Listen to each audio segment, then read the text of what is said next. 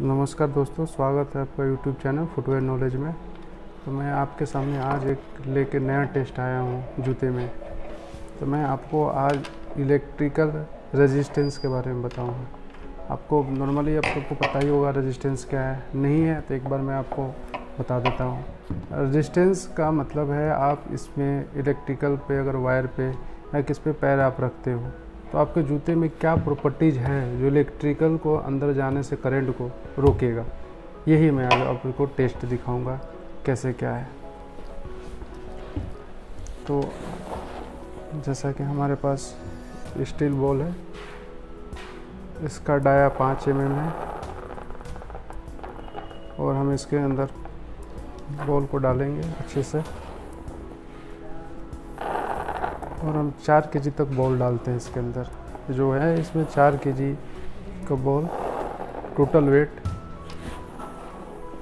चार के जी इसके अंदर सोलह सो लेकर के हम अच्छे से डालेंगे। डालने के बाद जूते का पावर देखेंगे कि हमें क्या करंट से बचा बचा सकता है या नहीं। हाँ दोस्तों, सबसे बड़ी बात कि जो मैंने आपको बताया था, जो अंदर का इंसॉक होता है, वो आप कभी जूता पहने तो बिना इंसॉक के जूते तो कभी पहने ही ना, क्योंकि आपको बहुत मदद मिलती है इससे।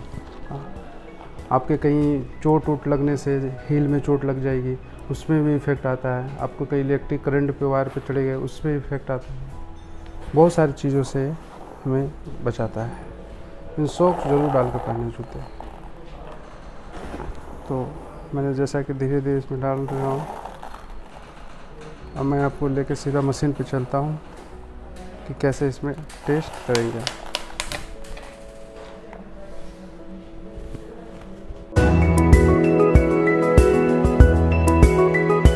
जैसा कि दोस्तों, हम यहाँ मशीन पे आ गए हैं और मैं आपको एक बार बढ़िया सा पिक्चर दिखा दूँ मशीन का।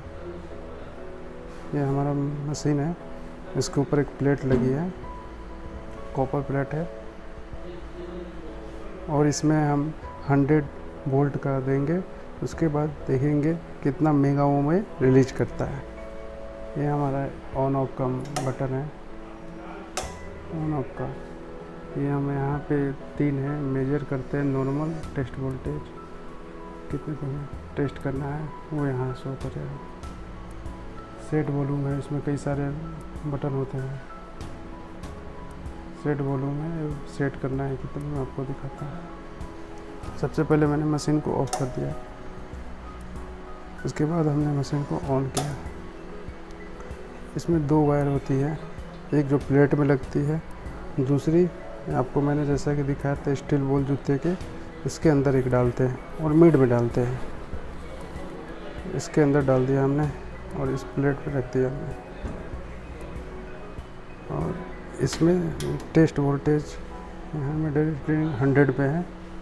देख सकते हैं उधर देखो। तो हमने हंड्रेड वोल्ट सेट कर दिया है। हंड्रेड वोल्ट सेट करने के बाद अब हम नॉर्मल पे आते हैं। नॉर्मल पे आएँगे तो देखेंगे आप यहाँ ज़ीरो हो गया। आप यहाँ पे देखेंगे ज़ीरो है। ये जो है हमारा बाहर का वोल्ट में है। यहाँ पर आप वोल्ट देख सकते हैं। और बाहर की रीडिंग जो मेगाओं में आएगी वो आप भी देख सकते हैं। तो यहाँ आप देखेंगे कि नॉर्मल है टेस्ट वोल्टेज 100 जो हमने सेट किया है नॉर्मल अब हम इसको मेजर करेंगे। कैसे मेजर करेंगे? मैगर आर एक्स एक्स से किया और हमारा रेंज मल्टीप्लायर है। तो हमने रेंज मल्टीप्लायर किया।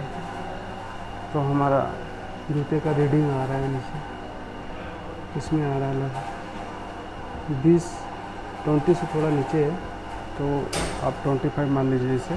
ट्वेंटी फाइव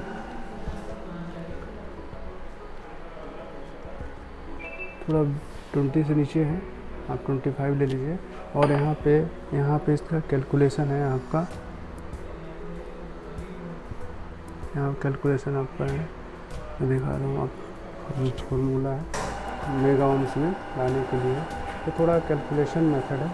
तो मैं आपको ये दिखा रहा हूँ। मीटर रीडिंग, जो हमने मीटर में रीड किया, मीटर में रीड किया, और टेस्ट वोल्टेज जो हमने हंड्रेड सेट किया।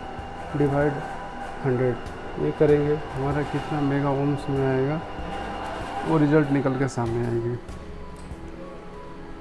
कुल मिला के बात ये है कि हमें जूते पे इलेक्ट्रिकल करंट दिया तो बिल्कुल भी इसमें इलेक्ट्रिकल करंट जो है पास नहीं हो पा रहा है।